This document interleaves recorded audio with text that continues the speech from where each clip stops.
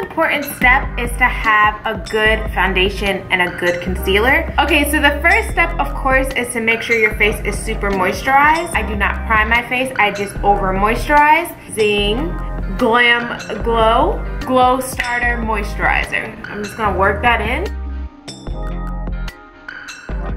Now that you're all moisturized, you can see my deep set eyes. It's a little bit hollow right here, so we are gonna bring that out and bring light to that area. Okay, so the first step that you wanna do is have a nice full coverage foundation. I right now am obsessed with this new Makeup Forever Matte Velvet Skin. So I'm gonna pretty much put this all over my face. I am color Y503. You could use whatever foundation of your choice, but it is best if it is a full coverage. Using my Real Technique sponge, I'm just gonna blend everything out.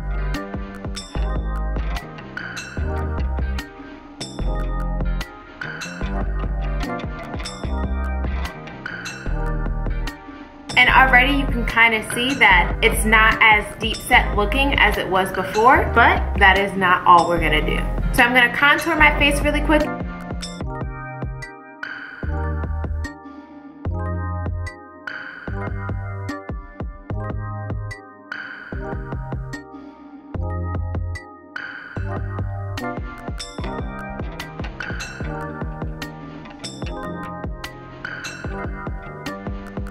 Okay, so now that I'm contoured, the next step is also to have a really good full coverage concealer.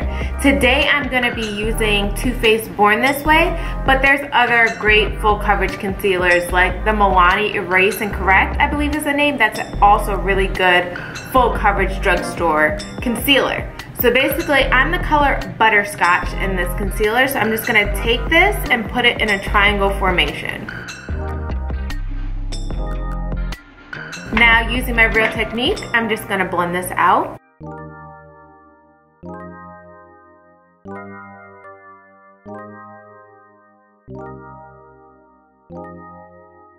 And you wanna come around your nose, making sure that you get in that crevice area.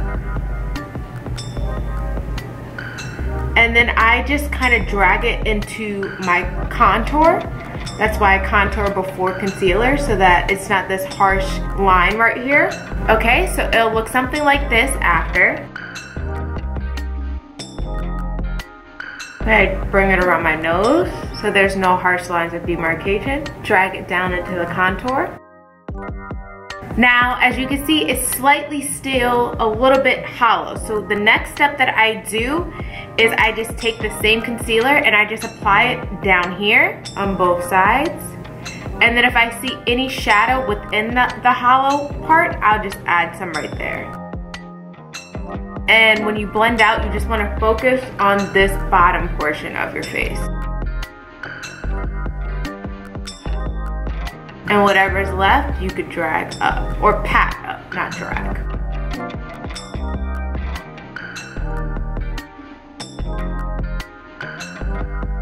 So now I'm just gonna take some Banana Ben Nye powder and set under my eyes.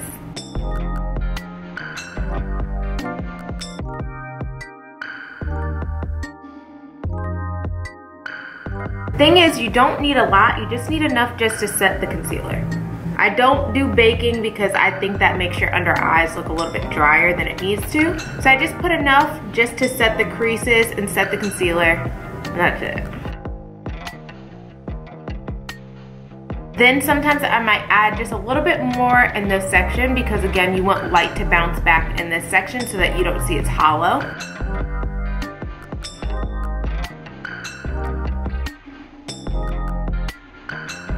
And then for whatever powder is left over, I just take a dense brush like this and just pat down to set any loose powder that may be on my face.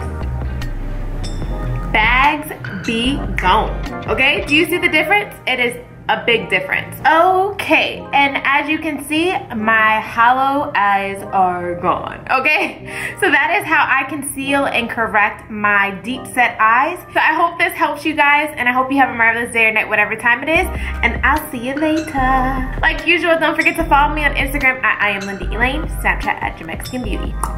Deuces.